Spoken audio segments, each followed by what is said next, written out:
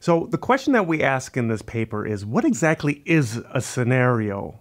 And what are the qualities that it shares with other techniques for planning for the future, other tools, and other approaches? We started off uh, by looking at the history of this problem of defining scenario. And it goes back to 1968. And, it said, and Simon Brown wrote that it is often with great conviction that the champions of various definitions try to convince others that their particular notion uh, is the correct one, and that other animals that may be presented to them bearing the label scenario are really something else in disguise. Possibly contexts, situations, plans, assumptions, parameter values, but certainly nothing that you ought to be calling a scenario. So we have this, uh, say, internal notion of that we think we would know a scenario if we would see one, right? But how do we define what that is?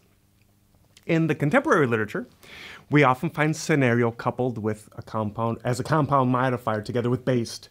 So we've got scenario based planning, right? We've also got scenario based discussions, deliberations, and conversations. If we're trying to understand how do scenarios, when they're present, then uh, impact our interpersonal exchanges. We've also got scenario based thinking, learning, and discovery. So, how is it that scenarios uh, impact our, our cognitive faculties? We've got scenario based exercises, modeling, and risk analysis. So, how do scenarios then affect the other tools that are present and their implementation when scenarios are around? And of course, we've uh, these all kind of come together in this world of of scenario based planning um, inside this uh, tradition of intuitive logics again. So um, we also find a number of quizzical definitions. Uh, that's kind of fortunate because they provide us some notions of what scenarios are, but they're unfortunate because they may not be um, precise or they may even be a bit distracting. For example, we've got uh, definitions uh, of images of the future. So scenarios are maps of the future landscape. Scenarios are artificial artificial case histories, future histories, past futures. And this goes on. We've got scenarios are leaps or jumps into the future. Scenarios discipline imagination. Scenarios are mental time travel, memories of the future. They're awkward forms of evidence, and again, the dominant tradition in scenario planning um, in futures and foresight studies is this intuitive logics tradition. Tracing scenario planning back to its origins, we end up with a gentleman named Herman Kahn, who during the Cold War wrote a set of scenarios about how the United States could essentially fight, win, or lose a nuclear exchange with Russia.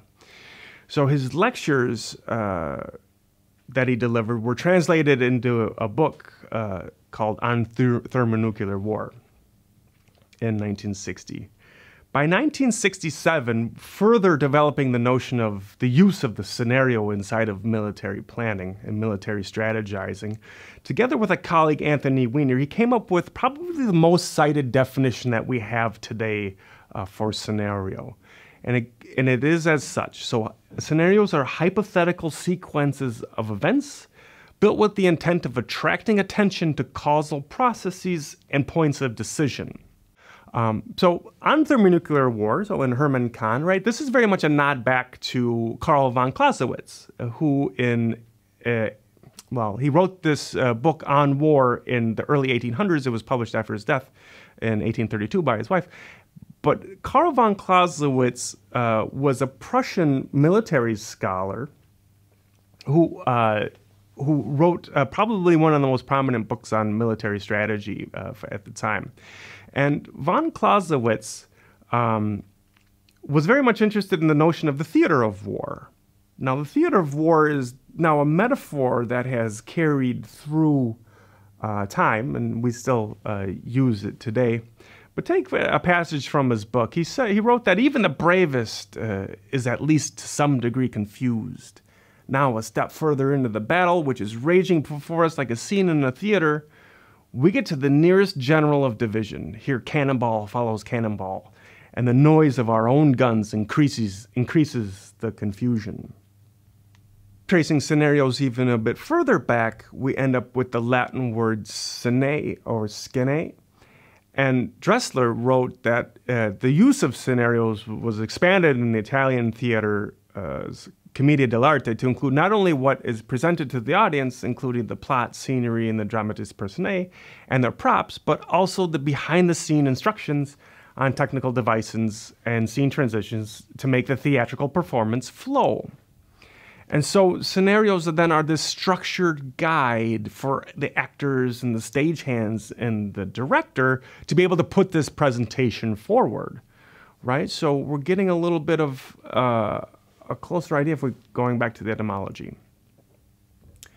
Um, but we're still left with this contemporary problem of this confusion over our definition of scenarios. So what did we do in this paper? The first thing we did, we, we assembled a digital library of the scholarly reports, books, and peer-reviewed article journals, uh, primarily in this intuitive logics tradition dating back to 1967. And then we searched that library for the phrases a scenario is and scenarios are. So, uh, with the understanding that academics that write a scenario is will be very careful with, with, with what they write after that, especially in this tradition, because we scenarios are very much in focus of what we think about uh, quite a bit. And again, same with scenarios are. So if you're going to write the word scenarios are, whatever follows is what we're looking for. And we were able to extract uh, 405 references or instances of this. And we took those and we narrowed them down to uh, 85 definitions that we considered to be uh, uh under certain criteria better than other definitions. We made an assessment of the frequency of the vocabulary then of those definitions, um, and we organized them into a hierarchical chart um, in, in the categories. And by asking a number of questions, we're trying to get at the notion again of what a scenario is, right? So if a described phenomena is future oriented, right? That's our first cue that we're talking about uh, a scenario. But if it's not so, we're talking about other things. So we're talking about the counterfactual. So imagine you, the counterfactual has you think about uh, a time period in the past, change some events, right, and see if the present then still holds the same uh, if, if the past hadn't been changed. So imagine going back in time and imagine that somebody was never born, right? World, would the world still look the same, right? Um, the nowcast is something similar. It's a hypothetical thought experiment, but they're not asking you to project yourself back into the past. Um, they keep you in the present. So imagine you, uh, the observer of this video, you're riding a bicycle in the rain uphill, right? As uh, as people, we can do this rather easily. We can displace ourselves in space, right? So um, that's the the notion of the nowcast in the counterfactual, right? These are not future oriented. Then we get to our second rung. So is the described phenomenon future oriented, and is it about the external context? So scenarios in this tradition have this notion that they're out of our control um, that there's something that we're going to have to react to. If they're not about the external context in organizational strategy, we're talking about other thought experiments, such as the prefactual. So if we are to build and invest in investment A, how would our future look? If we were to invest in future into investment B, how would our future look if we do that in say 10 years from now? So the prefactual very close to option evaluation, so management dilemmas, leadership visions, the notion that you know the future is out there, right? And we just have to move the organization towards that future, right? So we can control and enact this future. The third question that we have is: Is it a narrative description? So a narrative is is it a story?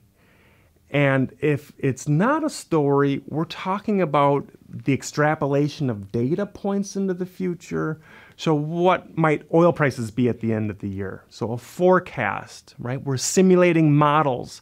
The outputs of these tools are not necessarily stories. They might be inputs or part of stories, right? Um, the sensitivity analysis, uh, price of oil, $100 a barrel, plus or minus 50%, right? That gives us our, our sensitivity analysis, but it's not really a story. It's not a lot we can, uh, we can plan from it for sure is the scenario future oriented? Is it about the external context? Is it a narrative description? Is it plausibly possible?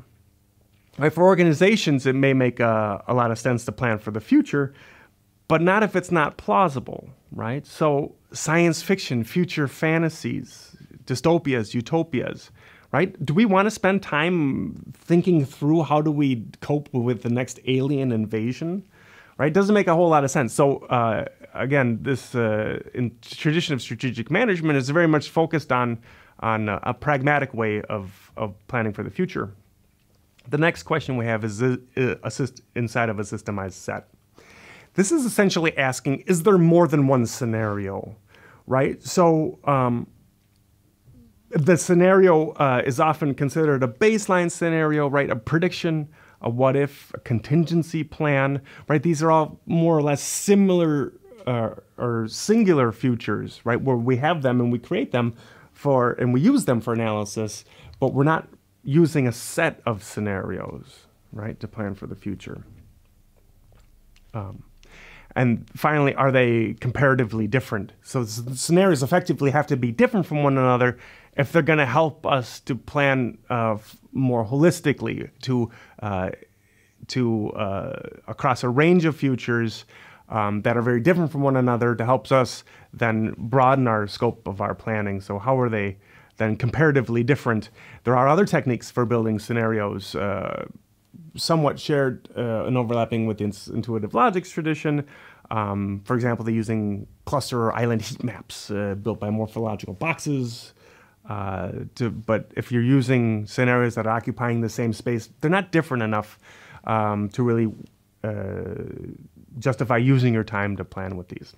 So if we're able to get all the way down through that flowchart to the end of the scenario, that is more or less what the scholars inside foresight and future studies would consider to qualify as a scenario. If you're interested in reading more about scenario planning, we've got a number of, uh, of other uh, publications that I've written together with uh, Professor Rowland. Thank you very much for your time and, and listening, and have a great day.